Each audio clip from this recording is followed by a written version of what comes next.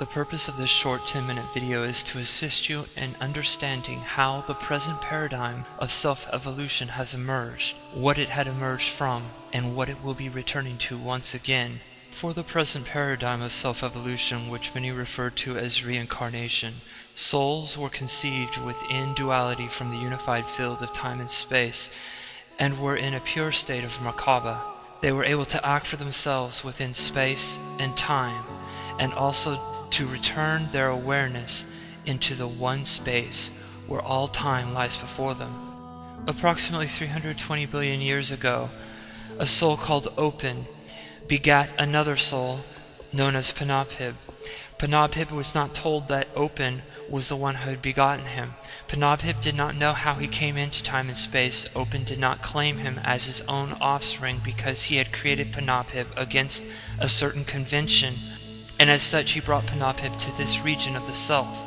From Panabhib, Panabhib had created over 90 billion offspring that are known to Judeo-Christians as angels. The angels are actually offspring of those which Judeo-Christians term as archangels, although it has not been known within the self that these angels were begotten by Open until recent months. Some of these angels formed a new paradigm of evolving by begetting offspring in the same way Panabhib was begotten by Open, but instead of giving those offspring eternal life, embodied those offspring into denser realms of the fourth and the third dimension on four planets on the YouTube channel Freedom of the Soul on the playlist videos entitled Creating a New Heaven and Earth. This paradigm that many term as reincarnation is discussed in more detail. Approximately 69 million years ago, 17 of the angel offspring of Panabhib that had come from Open, unbeknownst to them, had begun to create offspring and embody them in a world that we term as one from the Andromeda Galaxy. I was told that at this current moment in time there are 21 billion soul offspring that have come from these 17 angel oversouls. And these offspring are embodied in a realm that we would term to be the fourth dimension. There are also fifth dimensional embodiments of these 29 billion that reside in higher realms of this world in Andromeda that guide the reincarnation cycles of that world in the fourth dimension. Approximately 47 million years ago, another 23 of the offspring of Panabhib began to do the same practice of that which was being done by the 17 in the Andromeda Galaxy. They began to embody their offspring in the lower realms of a planet on the Milky Way that they refer to as Raif. Many that channel refer to this group as reptilians. They embody a more subtle realm than that which is on Earth, which is termed the fourth dimension and after their fourth dimensional embodiments are released, they are returned to the fifth dimension and are encouraged by the 23 to perpetuate this paradigm by embodying more of their offspring into the fourth dimension. There are three subgroups on the planet of Arif. One is called Roejepui, another is Feb, and another is Oajepibrin. Approximately 32 million years ago, an additional 19 offspring from Panabhib had begun to practice the same that was done in Raif and in the Andromeda Galaxy. They've inhabited on the fourth dimension in a world that is near the, what we term as Pleiades in the Milky Way. It is near what I have been told is the star of Merope. Currently, there are 39 billion soul offspring that reside within these realms on both the fourth and the fifth dimensions. The fourth dimension are the Pleiades that are embodied in the more subtle realm than what we experience here in the third. And the fifth dimensional offspring are those who had once been embodied and had returned to the fifth dimensions after their embodiment was released and perpetuated the same paradigm of the 19 oversouls of this group. Out of all of the planets where reincarnation has been practiced by these angel oversouls of Panabhib, Earth is the most unique and the newest. It is where the three groups of those from Pleiades, Raif, and Andromeda mixed, here in the densest realm of embodiment known as the third dimension. It is also the only of the four planets that contains third dimensional embodiments.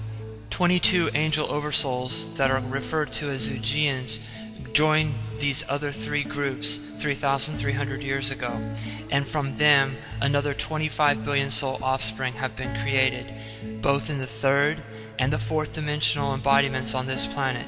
All groups mix in the third dimension on the planet Earth, but not in any of the subtler planes of embodiment.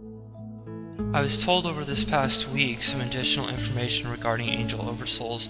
I had not inquired about the group of Raif and did not know about it before, but I have been told this week that there are actually 81 and 5 no longer participate in the paradigm of reincarnating offspring into denser realms.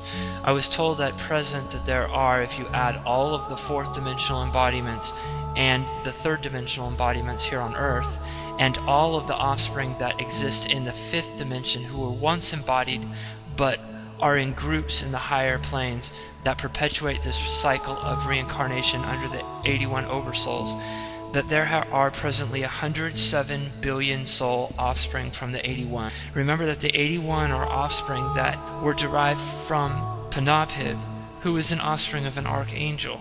And these 81 have informed me that they did not know this was the case, as Panabhib had not known this until recent months within time and space. There are, out of the 107 billion soul offspring that are in this reincarnation matrix of the what some channelers refer to the galactic federation of these four planets, 58 billion fifth dimensional embodiments of offspring that are again those that work in higher groups and have once been embodied return to the higher realms and are told by the 81 to perpetuate this paradigm by creating more offspring and sending them down as what they call quote unquote incarnations. Right now there are 42.5 billion offspring that are in what we would term the fourth dimension, the more subtler dimensions, yet these offspring are embodied. That would be on the planets of Andromeda, Pleiades, here on Earth, and in Raif. The only planet that has third dimensional embodiments is here on Earth, and this is also the planet where all four groups mix in this third dimensional realm. And there are 6.5 billion offspring here, embodied in the third dimension. I was told that they did not know until a, couple of months ago relative to Earth time that Panabhib had been an offspring of Opin. This is something that all those who had come from Panabhib had never known before. They were familiar with Opin, considered him to be a different type of an angel, or what we in Judeo-Christian terms would refer to as an archangel, but they did not know they were Opin's offspring. This has been made known to them, and in such they also realize that they too can become aware of the continuous state of Merkaba within time and space, and that embodying offspring into lower realms of the fourth and third dimension is not necessary, but only bringing pain and suffering to the one self that we all share beyond time and space. As such, opens children with this 2012 shift, which include all that are embodied in the third and fourth, and all those in the fifth dimension on this region of time and space are going to return to the region where open and those who created open are from. This will happen after the shift has culminated in 2012. All those that are embodied in fourth and third dimensional embodiments will have those embodiments shed. This was not going to happen before. Before, they were trying to preserve these embodiments and help them to make it through the shift, through manipulating DNA. But as they've just become aware of this and who they are and what they can become, they are going to give up this paradigm and return to the primal paradigm, of which is followed by open and those from which we had come from billions of years ago. I was told that Open's region of time and space is approximately the distance of 3,000 galaxies away from the Milky Way, and that there are currently approximately 1,600 billion archangelic souls that are like Open, and we are going to go home after the shift is complete.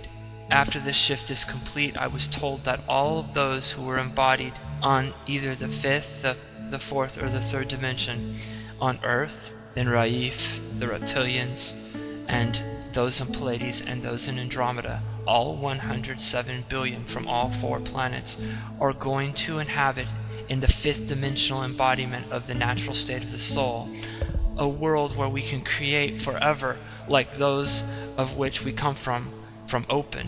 In this state, there will be no reincarnation, there will be one world, and all souls will forever create in the state of Merkaba knowing that they are one with what they touch and see outside of